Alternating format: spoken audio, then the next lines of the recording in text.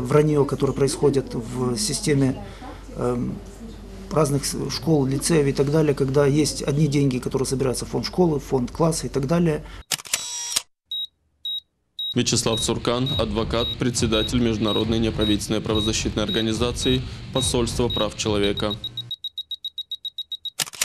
Эти деньги не проходят через систему строгого бухгалтерского учета, а это создает, в свою очередь, систему, коррумпированную систему внутри системы образования, внутри Молдовы.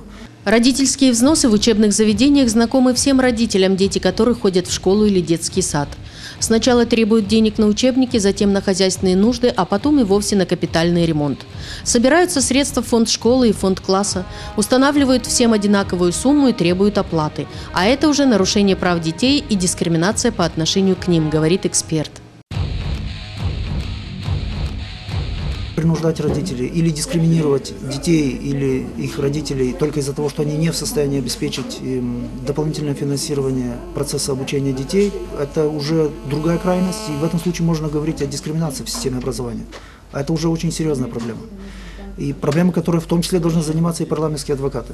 Именно поэтому я считаю, что для решения этой проблемы нужно привлечь целый ряд государственных органов и э, постоянно медиатизировать эту проблему для того, чтобы для родителей тоже было понятно, что происходит в изменении законодательства, для того, чтобы предотвратить вот появление таких пробелов в законодательстве, которые ведут к образованию такой проблемы. Постоянные взносы в бесплатное образование давно стали частью обязательного бюджета каждого учебного заведения. Родителям нести такое бремя на своих плечах не под силу – но они платят, потому что вменили в обязанность. Собираемые деньги с родителей, с одной стороны, это должно быть добровольно, без принуждения.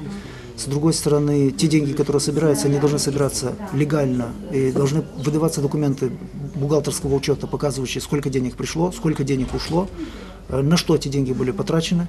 Потому что иначе создаться даже парадоксальная ситуация, когда часть этого имущества может быть украдена, и неясно, кто является собственником имущества.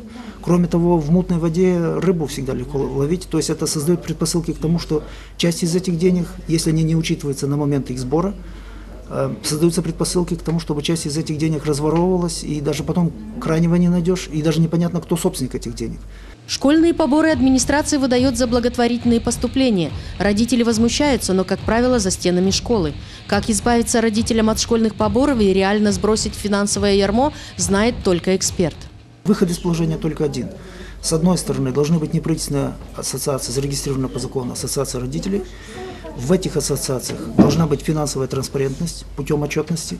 С другой стороны, не должно быть вечных руководителей в этих организациях. Это не личные организации, а организации, объединяющие родителей, где публично выбираются руководители, их периодически перевыбирают. Есть публичная отчетность по деньгам, есть, эм, то есть это все должно делаться транспарентно, как в любой цивилизованной стране.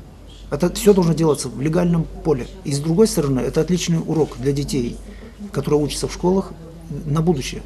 Потому что в этом случае мы таким образом растим подрастающее поколение в духе уважения к закону.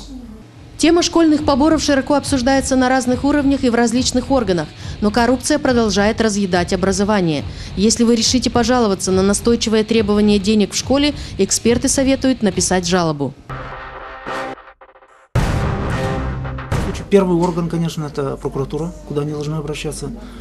Э, органы управления системы образования, но я думаю, что все-таки, эм, поскольку эта проблема системная на уровне государства, и она касается не только одного или другого региона или района Молдовы, это проблема в пределах целой страны.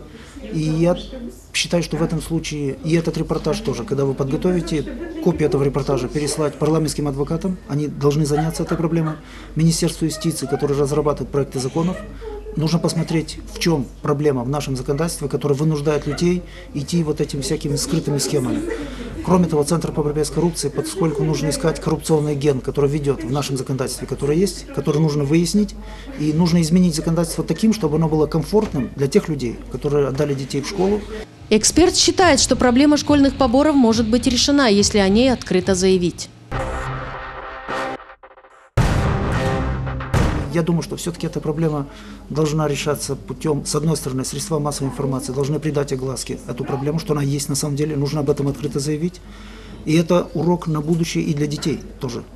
Урок того, что на самом деле мы должны положительно относиться к эм, тому, что государство, с одной стороны, в состоянии обеспечить поддержание правопорядка, эффективного правопорядка, в том числе и в системе образования, с другой стороны, обеспечить законное поле для деятельности учебных заведений –